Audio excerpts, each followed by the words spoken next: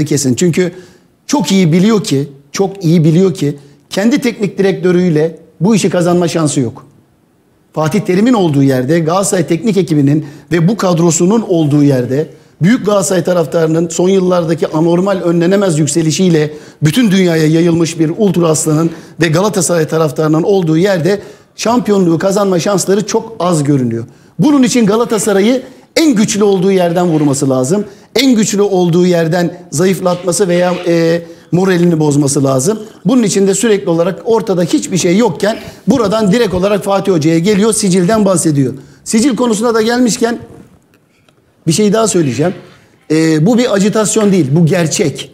Burada hepimizin bir sicili var. Bizler böyle sokaklardan e, gelip e, bazı şeyleri tırmalıya tırmalıya. Şu anda Yücel'in kendi tribününde durduğu yeri bile kendisinin nasıl 20 senede 30 senede oralara geldiğini kendisi bir hayat öyküsü olarak bilir. İşte onun sicili odur. Aleninki odur. Benimki budur. Hocamınki de bir başkasıdır. Ama burada hayata başlarken bu bir suç değildir. Bu bir şanstır belki. Çok zengin bir ailenin çocuğu olarak, çok güçlü bir ülkenin en büyük ailesinin, zengin ailesinin çocuğu olarak dünyaya geldiğiniz zaman hayatın içerisinde bazı şeyleri yaparken çok mücadele etmenize gerek kalmaz.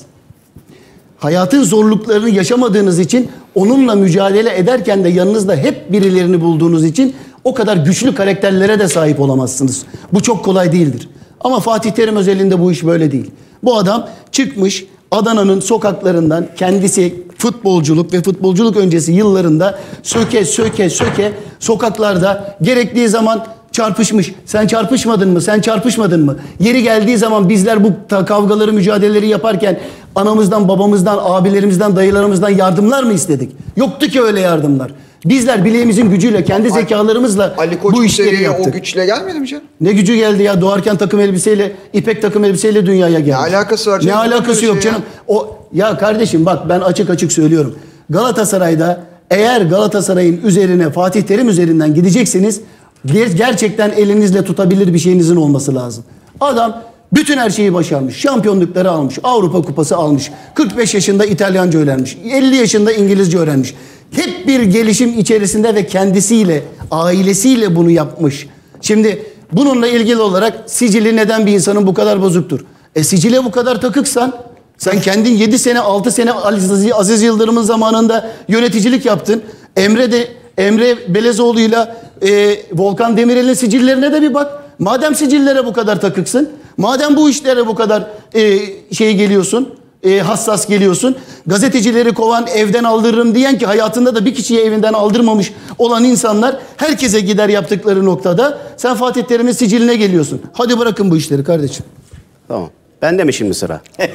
evet. Ben 10 dakika Oğuz Altay'ı dinledim ve hiçbir şekilde müdahale etmedim. Aynı şekilde müdahale edilmek istemiyorum. Sen araya girersin. Hakaret kabul etmem. Yok hakaretle değil. Ee, cevap vereceğim. Hakaret yok. Şimdi Sayın Başkanımız Ali Koç işte takım elbiseli dedin, gravatlı dedin ama en azından Fenerbahçelilik ruhunu, iş adamlık sıfatını bir kenara ataraktan gönül vermiş olduğu renklere, lacivertli renklere ne yaptı? Elinin taşını altına koyarak Fenerbahçe'nin bu zor durumda sahip çıktı. Fenerbahçe'yi üstlendi, başkanlık yaptı. Benim param var, pulum var, bana ne Fenerbahçe'den demedi. Fenerbahçelilik adına büyük bir özveri gösterip Parayı pulu bir kenara bırakıp takım elbisesini, gravatını, örüp formasını giydi. Gönül vermiş olduğu renklerin formasını giydi. Fenerbahçe'ye sahip çıktı. Bu bir. Konuyla alakası yok.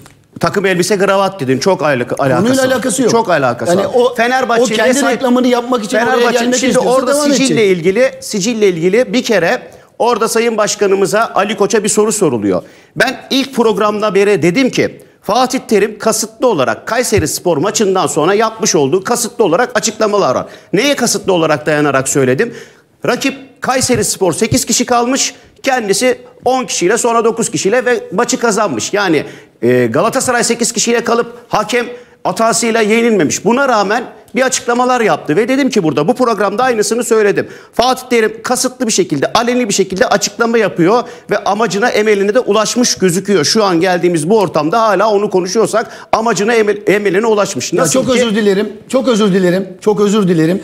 Ee, bugün bu, bu konu konuşuluyorsa sadece Ali Koç'un yapmış olduğu açıklamadan dolayı Yok konuşuluyor. ben önce devam edeyim. et ben, e, Ben özür dileyerek sana e, şey Tamam. yaptım. Çünkü Fatih Terim cezasını almış konu kapanmış. Ama başka bir konu, başka bir konu. Başka bir konu. Hayır, oradaki açıklamalar ne? Eski düşmanlar bizim için dost oldu diyor. Eski düşmanlar bizim için dost oldu lafını işte kime ne söylediğini çok iyi biliyoruz ve oradaki atıfta bulunma Sayın Ali Koç'un atıfta bulunması gereken bir cevap vermek gerekiyor. Eski düşmanlar Galatasaray için dost olmuş. Kim onlar?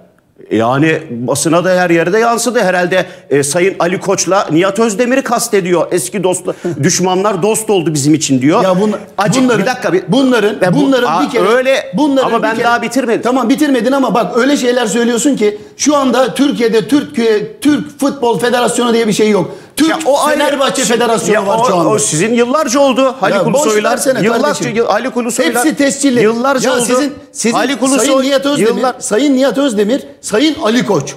Evet. Aziz Yıldırım cezaevine girdiği zaman ilk bırakıp masadan kaçan Yok adamlar onu oldular geçen de konuştuk. Hiç alakası yok. Hiç konuyu dağıtmayalım. Bunlar, ben bunların anlatayım. siciline bakılacaksa bu sicile Sicil- bakılacak. Şimdi sicille masadan ilgili, kaçan sicille masadan kaçan ilgili sicil konuşmaz. Fatih Terim'in ben burada geçen haftada bir şey de anlatmak istedim. Program yetmedi dedik mi? Sicille şunu kastediyor. Sayın Başkan diyor ki Bu geçen hafta değil, bu futbolculuk futbolculuk döneminden ve şimdiye kadar gelen döneminde hani tek- teknik direktörlük döneminde siciliyle. Şimdi bizim elimizde kayıtlar var. Yani gazete küpürleri var. Ee, kesin, kanıtlı, ispatlanmış futbolculuk döneminde. Ben size iki dakika isterseniz bir okuyayım. Yani futbolculuk döneminde Fatih Terim'in yapmış olduğu vukuatlar, almış olduğu cezalar. Ben biliyorum ya gazeteye E, yani- yok sor söyleyeyim sana maç maç söyleyeyim. İşte 1977 yılında yapıyor. Bir gittiği gece kulübünde eğlencede 1977 yılında Emniyet Müdürlüğü'ne Ya hocam, müfettişine ya bu saçma sapan bir yerlere Bunlar futbolcu dönemi. gidiyoruz ama. Hayır ama şimdi bak şimdi şöyle, sicil buradan bak, geliyor. Ya sen emniyet müdürü müsün? Sana ne kardeşim sen Fatih Terim'in 77 yılında ben yaptığı emniyet kavga- müdürü değilim. Başkanın için Fatih söylüyorum. Camia Terim, için söylüyorum. Fatih Terim Öyle şey mi olur emniyet ya? Bir müdürüne dakika, kafa atıyor. Ben konuşturalım emniyet bir şey. müdürü değil. Yapmış olduğu futbolculuk Ali döneminde... Koç'a ne ya? Ama o zaman böyle araya Ali Koç'a ne? Niye? Ne? Kendisine ne? Ne? O zaman öyle bir konu yapıyor. Hangi Bizim konu? için düşman olanlar şimdi dost oldu diyor. E, Ay, Bunu veriler söylüyor. var. Hem sicille Veriler var. ilgili futbolculuk... Fu- Bizde Şimdi- de veriler var. Bizde de veriler Ya var. Fatih Terim'in Fatih Terim'in 77 yılında yapmış İsviçre- olduğu tartışma İsviçre- Ali Koç'u bağlamaz. İsviçre Ali Koç'un takımına karşı Ali Koç'un zaten kendisi en büyük yetmez. hata Fatih Terim'indir. Hocam da bilir. Milli Oo. takımda alınan cezanın en büyük sorumlusu İsviçre karşısında Kadıköy'de oynanan İsviçre milli takımda alınan en büyük sorumlusu Fatih Terim'dir. Futbolcularına vur vur demiştir. Milli takım futbolcuları vur vur. Onun yüzünden ceza almışızdır. Bütün herkes ceza almış. Şifo Mehmetler falan gönderilmiş. Fatih Terim kayrılmıştır. Gene kayrılmıştır. Devam etmiştir. Fatih Terim'in bütün vukuatları vardır. Milli takıma bile yansımıştır. Ya siz savcı mısınız Bunlardan kardeşim? geliyor. Savcı mısın değil. Ya olanları söylüyoruz. ya olanı Olanları söylemeyelim. Ne savcılıkla alakası Hayır var? kardeşim sen Atıfta 1900 bulunuyor birisi, biz Hayır söylüyoruz. 1977 yılında Fatih Terim'in ki, sokaktaki kavgasını sürü var, konuşuyorsun. Bir sürü var. Ya Kendi takım arkadaşına Adana Demirsporlu takım arkadaşına kaptanına Galatasaray maçında Adana Demirspor Evet. geliyor. Gene kendi takım kaptanına arkadaşına kafa atıyor. Yani yanlış şunu- biliyorsun. Yanlış biliyorsun. Evet Galatasaray'da Yanlış biliyorsun. Adana Demirspor'dayken takım arkadaşı Yan- kaptanına yanlış biliyorsun. Arkadaşına kafa atmıyor. Hayır. Atmıyor. Yanlış biliyorsun. Programlara hazırlanırken madem telefonlarında bilgi getiriyorsun. Evet, O o maç var. Adana Demirspor Galatasaray maçı Erol Togay'a kafa attı.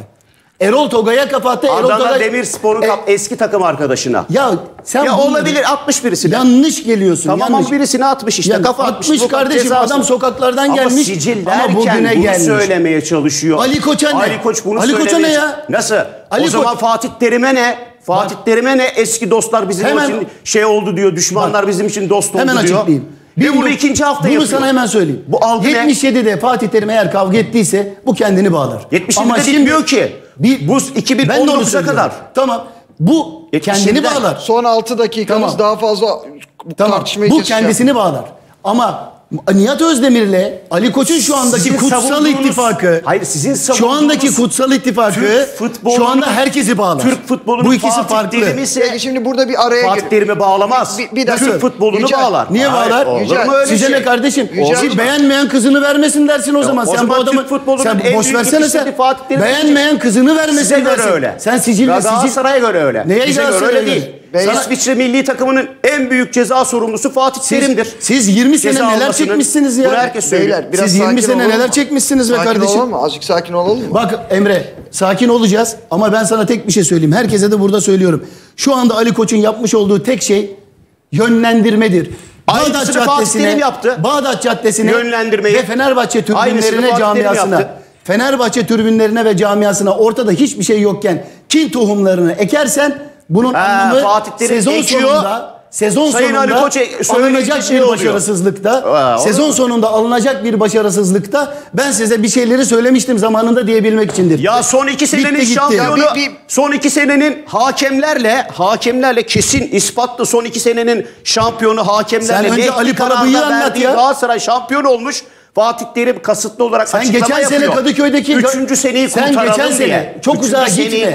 Çok diye. uzağa gitme. Sizin stadınızdaki bir birlik maçtaki Ali Palabıyık'ı bir anlat ya. E sen Trabzon maç nasıl maçını gitti? anlat. Adam vara gitti. Bırak Trabzon'u. Niye bırakayım? El onu alemin, bırak diyorsun. el alemin şeyi onlar. Öyle el mi? alemin. Onu bırak diyorsun. Sen şimdi gel de Fener maçı- Galatasaray maçını vara gitti, anlat. vara Fener gitti. Galatasaray maçını anlat. Penaltıyı vermedi. onu Bülent- bırak. O zaman Bülent- sen de onu bırak. Sen Bülent Yıldırım'ı onu kenara al. Serkan Çınar'ı kenara al. Ali Palabıyık hadi sen devam et de. E, Nasıl olacak Trabzon maçını konuşalım. Geçen Yok. sene yüzde yüz penaltı vara gidiyor, görüyor, düşürüldüğünü vermiyor.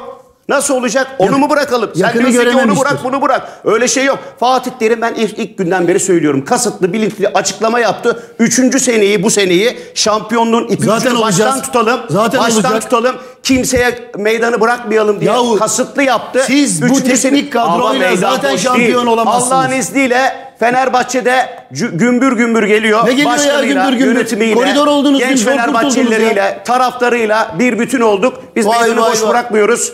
Mekanın sahibi geldi. Bizim en büyük- Mekanın sahibi burada. Biz bu sene Mekanın şampiyonuz. sahibi siz misiniz? Mekanın sahibi biz. Sen Türk'üz. sen 5 yaşındayken Fenerbahçe'nin çok şampiyonluğu vardı. 50 yaşına geldin Galatasaraylılar sizi geçti. 10 yaşındaki çocuklar. Fark etmez, senin fark çocuğun etmez nasıl senin geçti çocuğun ortada. senden fazla şampiyonluk gördü. Ya olabilir nasıl geçti son iki senede. Galatasaray- Peki adına. şimdi Sayın Başkan e, Ali Koç'la Sayın Nihat Özdemir'in bir fotoğrafı var. E, ben Yılmaz Hoca'ya sormak istiyorum. Türk futbolunun genel yapısına baktığımızda bu fotoğraf bu işte müthiş tartışmanın fitilini ateşledi sanki. Siz nasıl görüyorsunuz resmi? Yani bu fotoğrafa baktığınızda işte bir şampiyonluk, 29. şampiyonluk.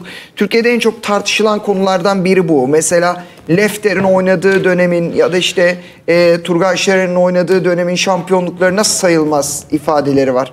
Katılır mısınız efendim bu görüşe? Türkiye ligleri kaç senesinde kuruldu? 1959. Hayır. Türkiye Hayır, o Türkiye ama şey yok, 1920, Hayır, ligleri diyor. 1924'te. Hayır, 1923'te 1923'te Türkiye Futbol Federasyonu kuruluyor. Ondan sonra dört, iki farklı mahalli lig var biliyorsunuz. Milli Lig var, İstanbul Ligi var. 1959'dan Hayır, yani itibaren. resmi anlamda Ha, 59. 1959. Sorduğunuz soruyu o, o yüzden öyle yanıt verdim ki ama açıklama getireyim O yan, zaman, yanlış anlaşılmasın. e, 1923 yılında da Futbol Federasyonu. Aynen öyle. Evet. Yani bu organizasyonlar zaman zaman isimleri değişiyor, yapısı değişiyor. Aynen Bravo, Milli Lig, aynen öyle hocam. Lig. Yani öyle bakarsan iki ucu değnek yani. Madem sen federasyonsun, 1923'te kurulmuşsun, senin yaptığın her organizasyonun sonunda verdiğin kupa kupadır yani diye de düşünebilirsin. Veya dersin ki 1959'da Ama diyorlar ki kuruldu, hocam- resmileşti. Ondan sonraki olayları sayarsın. Hocam buna iki türlü Yani buna. Futbol Federasyonu çıkacak, net bir şey söyleyecek, kapatacak bu konuyu. O Yani federasyon öyle- söyledi hocam. Ali Koç geçen hafta en çok şampiyon olan takım diye Fenerbahçe posteri götürdü. İkisi de gülerek res- şey verdi. öyle bir resim var. O resmi görmek Böyle bir şey olabilir mi Ya ya? işin kötü tarafı şu yani. Çok yanlış, çok Federasyon yanlış. başkanları işte bundan evvelki Ali, Vallahi Ali biz o Ulusoy yanlışlarla Galatasaraylı şimdiki. Fenerbahçeli bunlar evvelki Beşiktaşlıydı yani. e, Bir takım tutarak hepsi geliyor. Aynen. Hocam şimdi şöyle bir şey var. Hepsinin bir Bir takımı var. mahkemeye başvurursunuz. Bir sonuç alırsınız. Diğer kulüpler de kendini hakkını arar. Hocam Dersin şu res- resim hukuki- şimdi bak arkaya geldi. bir Şu, durumdur. şu resme bakalım mı? Ali Koç, Nihat Özdemir'i ziyaret şampiyon ediyor. olan takım Fenerbahçe. Sanki bir gönderme var mı? Ne dersiniz? Ya bunu Ali Koç götürebilir. Futbol Federasyonu böyle bir şey netleşmemişken, mahkeme kararı yokken bunu gülerek bu şekilde nasıl tutabilir bunu ya? Ama o 1950'lerden bir fotoğraf. Yani ne bu fark kadar eder ya? takılmak gerekiyor. Orada mu? altta ne yazıyor? E ama o tarihlerde en çok şampiyon olan Fenerbahçe. Ha bunu hatırla bunu sen böyle normal Ya bu işin yani. tablosunu getirmiş Emre. Emre bu işin tablosunu getirmiş Sayın Başkan federasyona. Yıllarca federasyon gerçeğini getirdi Galatasaray'a ya. Ali Koç başkanımız tablosunu getirmiş diye olay oluyor. Yıllarca, yıllarca federasyon, Türkiye Federasyonu Galatasaray'a aleni getirdi, verdi, armağan etti. Niye abi? Ben anlamadım. Şampiyonluğu. Öyle mi? Evet. Şampiyonluğu armağan etti federasyonlar. Haluk Ulusoylar tablo getirmiş. Ortada daha şampiyon bitmemiş sezon. tablo getirmiş. Ya bırakın abi. Ya biz sizin Fenerbahçeli yönetim şeylerin federasyon başkanlarının zamanında da hep şampiyon olduk. Peki e, şuna da bir açıklık getirelim. Bugün genç Fenerbahçeliler bir deklarasyon yayınladınız. Evet. E, deklarasyon değil mi bu? Yanlış ifade kullanmıyorum. Evet. E, özellikle bir gazeteci, daha doğrusu iki gazeteci abimizle ilgili.